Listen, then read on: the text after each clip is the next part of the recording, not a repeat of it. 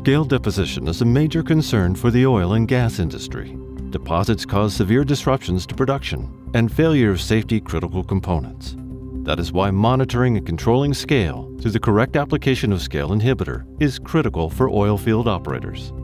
Kemira's KemGuard 2420 with fluorescent tag technology allows operators to accurately monitor produced water residual inhibitor levels directly on the production facility using a technique known as spectrofluorometry. Together with KemGuard 269 and KemGuard 2490, KemGuard 2420 can be used in multiple zone deployment and be effectively measured in presence of these similar chemistries. Analysis begins with the calibration of the equipment.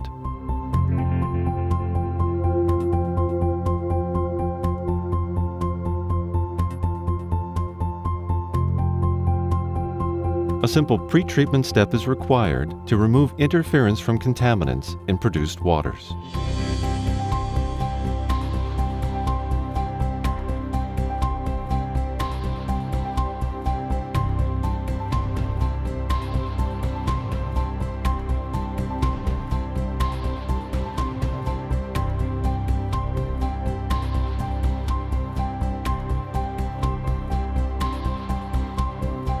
Once the equipment has been calibrated, the pretreatment sample is placed in a cuvette and the fluorescence spectrum of the sample is measured. Both the pretreatment steps, together with the fluorescent measurement, are quick and easy to perform, even in field locations. The fluorescence intensity from the sample measurement is compared to the calibrative curve to obtain the level of residual KemGuard 2420 inhibitor. With fluorescent tagged KemGuard 2420, the results of scale inhibitor concentration are achieved in only a few minutes, rather than the current analysis method, which requires a few days.